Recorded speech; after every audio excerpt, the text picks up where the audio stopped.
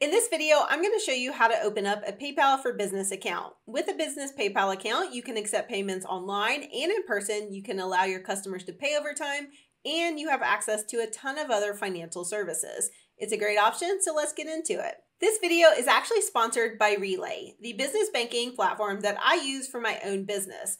I have found that PayPal and Relay together are the perfect solution for me as a digital product seller. So let's get started. When you arrive on PayPal, you'll see that there's options for personal and small business. You are going to want the business option, but if you start on personal and click sign up, what you will do is just select business and then get started. If you are on the small business page, which I will link down below, when you click sign up, you will end up right here on this screen. Either way, this is what you need to see to create a business account with PayPal. So here we're just gonna follow the prompts, fill in our personal information and click agree and create account. So here I filled in my information, my name, my email, and the password that I want. So I'm going to click agree and create account. Next, you're going to end up on this page where you're going to get a code emailed to the account that you just used to set up. This is to prevent fraud. So click email you a code and then go over and check your email to find the code that they sent you. I pulled up my email and I can see my code here, so I'm going to copy it. It's only good for 10 minutes. So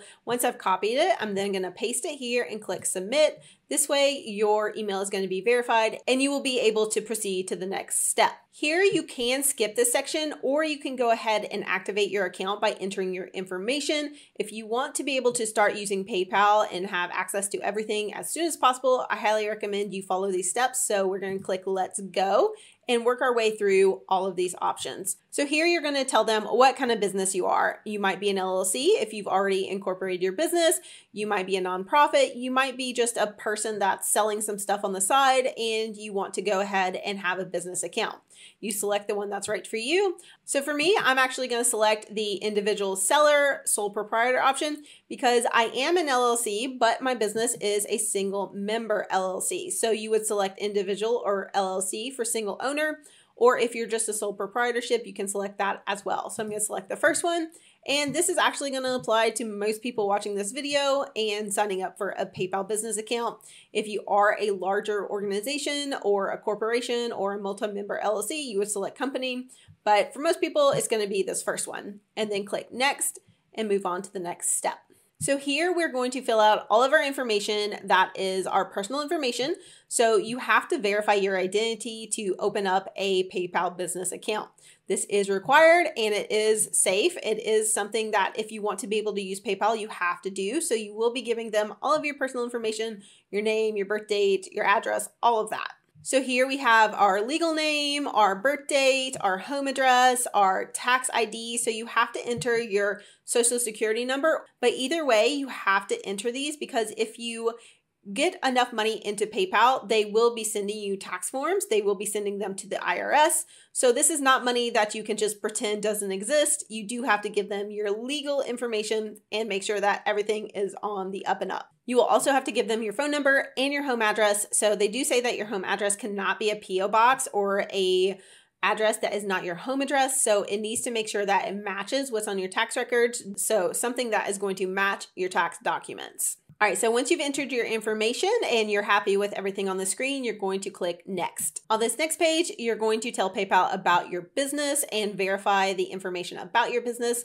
So you'll want to give it your name here, and that is what is going to show up on the statements when your customer purchases something from you.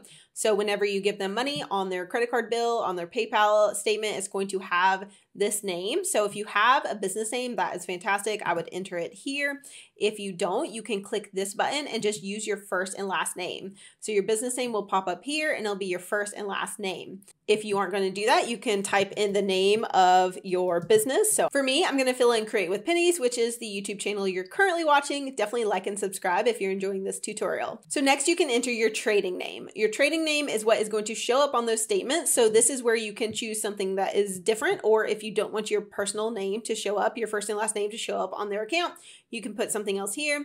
And then next you're going to enter what product or service your business offers.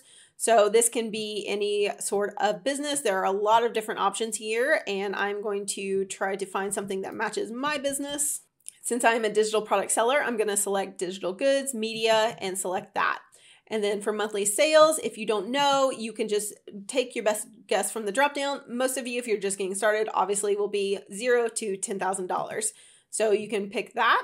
Then they want to know if you have a business website or not. If you do not have a business website, you click no. If you click yes, you would just enter it in the box. I will go ahead and click yes on this and then just enter my Stan Store down here, which is where I sell some of my digital products so that they have access to that and can look at that if my account is reviewed. So the more information you can give PayPal, the less likely they are to close your account. Then the final thing they want on this page is your business address. So here you will enter your business address. If you do not have a business address, you will have to click the little box here so that you can use your residential address, your home address as this address. Once you have filled in all of the information about your business, you will then click next. Now your business PayPal account is ready to go. It's not ready to be used yet. You need to take a few more steps. So don't stop watching now. We need to link a bank account. So we're going to go click on link a bank account or you can go to your homepage and do this later. But I highly recommend when you're setting up new accounts, do everything in the setup first so that you're ready to go when you actually need to use the account. So click link a bank and we will go over to the banking section on PayPal. Here, I'm going to be entering my information for Relay, which is the bank account that I use in my business. This video is sponsored by Relay, so let me tell you a little bit about them and why I chose them for my own banking option. Relay is a fintech company that has made business banking so simple and easy to understand. They have really focused on understanding cash flow, so you can set up multiple accounts. So with Relay, you're able to have all of your business revenue come into your Relay account and then be put into these individual accounts inside of Relay that operate as their own accounts. It makes it really, really easy to put your money for expenses aside, save for taxes, save for reinvesting into your business, and of course, to pay yourself. It makes it super simple to see where your cash is going in your business so that you always at a glance can understand what you're spending, what you're saving, and what you're doing with your business income. Using Relay has transformed my own business because I've been able to finally pay myself a steady salary and to actually be able to save for future expenses and future investments in my business. If you're curious about my full experience at Relay, I have a video detailing the first year of using Relay on my channel, and I will also leave a link to Relay down below so you can check them out and see if it's for you. That link will give you a $50 bonus when you use it, and I will get a commission as well. So thank you for supporting my channel. And now let's get back to PayPal business so we can link our bank account together and finally start using our PayPal account. So back on PayPal, you can search for your bank here. You can select from the main options here. You can scroll through, find the name of your account here. Or if you don't actually like connecting your actual account using these kinds of tools like PayPal, if you don't like the direct link, you can come down here and click link bank manually. So with this option, you can choose from checking or savings. You enter your routing number, you enter your account number, you select whether it's a business account with your business name or a personal account with your name down here, and then click authorize and link. So once you have entered your bank account information, you then click authorize and link, and they will set that up after you select the uh, verification that you're not a robot. That process will get started. And then to actually confirm this bank account, they are going to deposit money into the account.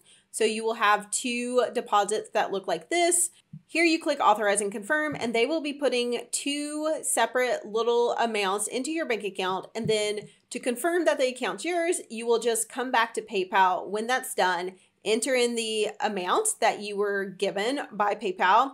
They will then remove them, and you will have your bank account linked.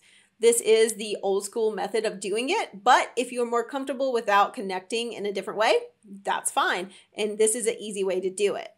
Now you've connected your account, so you can always see which one is connected by going to finance, going to banks and cards, and then it will show at the bottom down here.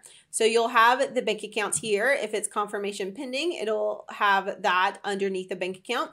You can also click link a bank account and add another one. If you have multiple business accounts, you can add as many as you need and have them all linked to the same PayPal account.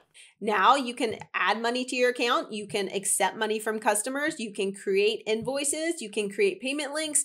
You have a ton of options with your business PayPal account. If this video is helpful to you, definitely give it a like and subscribe to Create with Pennies, where I share all about business tools that can help creators and business owners make more money. And next, watch this video on how to set up a Stripe account because if you're accepting payments online, you probably want both a PayPal and a Stripe account.